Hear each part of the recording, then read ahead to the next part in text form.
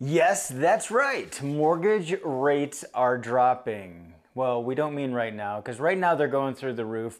But when we get into a recession, rates will drop. We're going to take you back through time on a quick trip so you can see what happened in the last seven recessions to mortgage interest rates. Hey there, Christian Walsh, real estate agent with Wire Associates. We have been helping buyers and sellers make the best data driven decisions in this crazy market. Look, we understand that rates have gone up quickly. We will see that that has happened in the past as well. Now, despite today's news while I'm shooting this, that the GDP was up and we're probably not in a recession, there's a lot of people who feel like we are.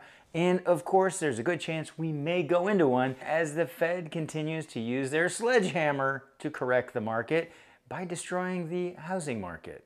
So if you're ready to dive into mortgage interest rates in the past seven recessions, hit that like button and let's get started. Here we go, diving into the 30 year mortgage rate going all the way back to 1970. And the reason we start in 1970 is that's when Freddie Mac was created under the Emergency Home Finance Act, passed by Congress. There is a recession going on then. And you can see all these gray bands, just like in the video we released earlier in the week, talking about values during recessions. These gray bands are the recessions.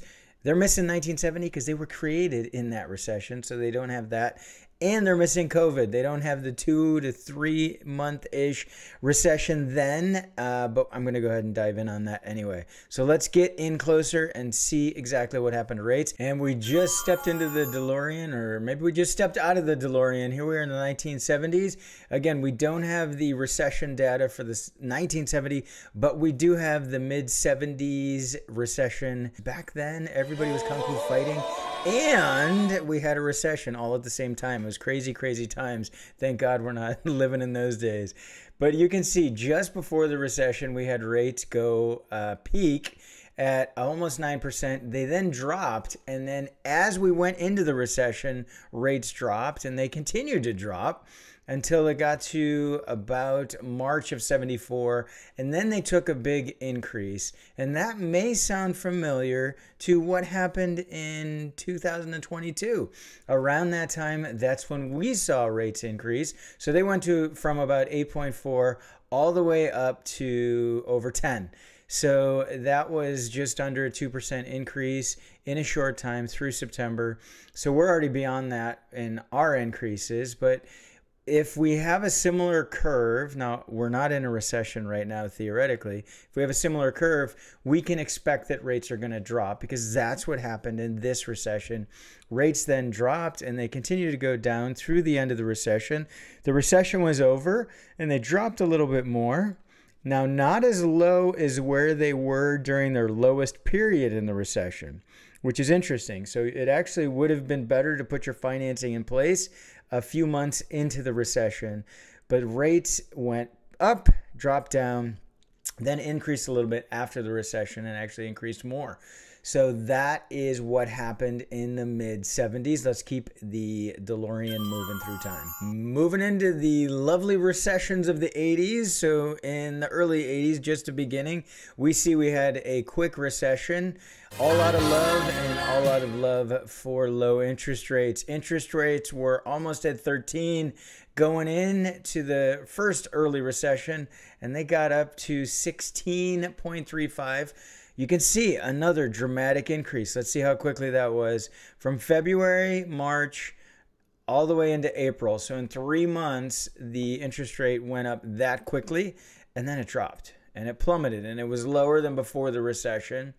So it got down to 12, which sounds ridiculous, but that's what they dealt with in the 80s. These high interest rates because of high inflation. And they went out of one recession and rode rates on up into another. And Steve Miller Band's Abra, Abracadabra could not save them from the magic of another recession. So rates marched up and hit their peak, one of the highest peaks. And yeah, this is the peak 18.63% in October of 1981.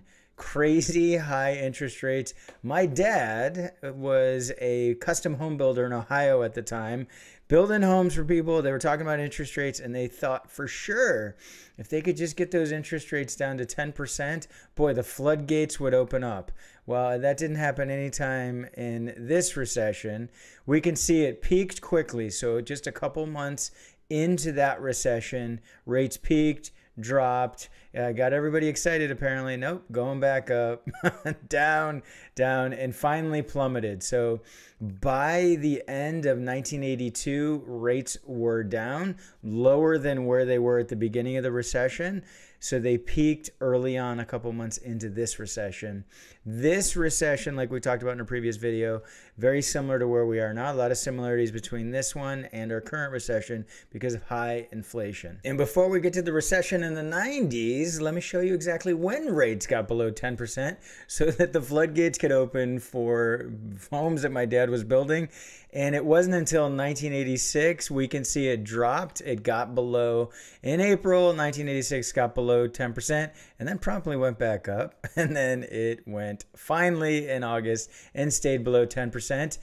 Also, the same year, one of my favorite movies, The Three Amigos, came out. Although I should probably rewatch it. It's probably completely politically incorrect today but I left when I was a kid. And now getting into the era I grew up, the 90s. So, nice recession right around the time of the Humpty Dance. Know, Humpty Dance made us happy while we were going through this.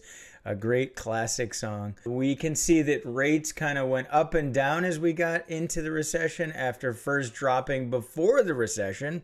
They went under 10%, then promptly went back up then dropped through the end of the recession. So the drop in interest rates occurred about three or four months into that recession and the rates continued to drop, went up a little bit, but then went to their lowest level. Came out at the other side at the mid nines which is a crazy number even by today's standards. We finally got into the noughties or the 2000s, depending on what you wanted to call them.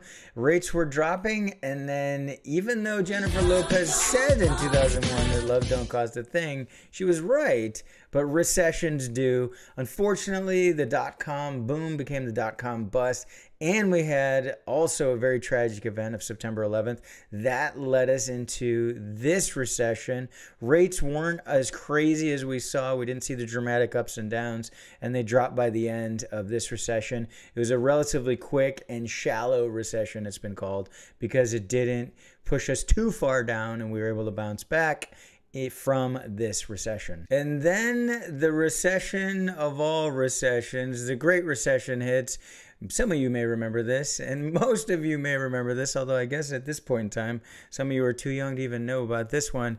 Crazy times, global financial crisis, and you can see interest rates were all over. In fact, Flo Rida and T Pain were singing about low, great song, but interest rates didn't get low until the very end of this longer recession.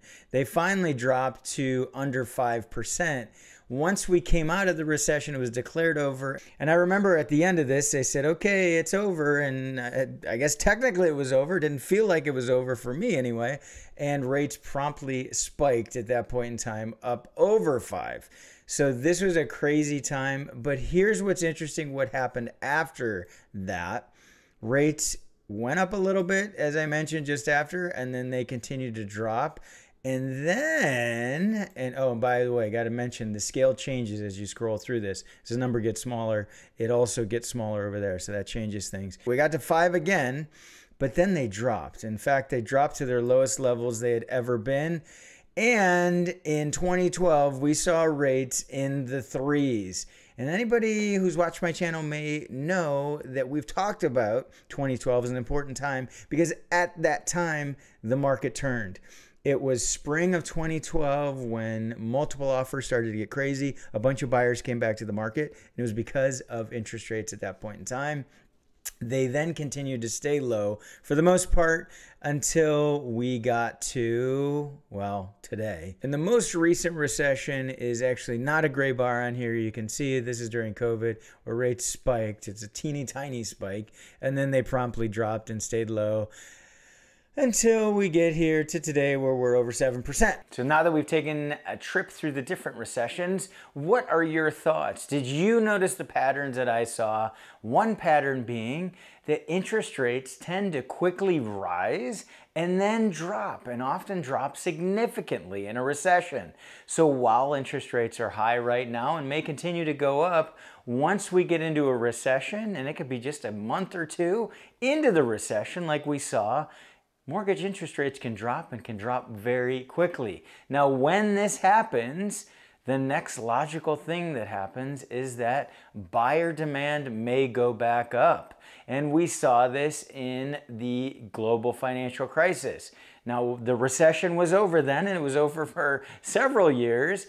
But once interest rates got low enough, everybody jumped into the market, and we've been on a wild ride since then. So the point is, while it's scary right now with where interest rates are headed and they're going up, don't worry. At some point in time, they will go back down. Where do you think mortgage interest rates are headed? Do you think we're in a recession?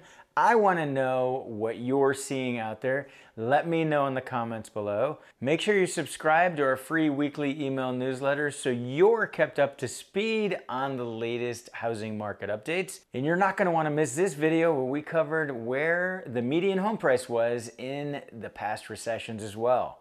Thanks for tuning in. This has been Christian Walsh, real estate agent with Wire Associates, and we want to hear from you.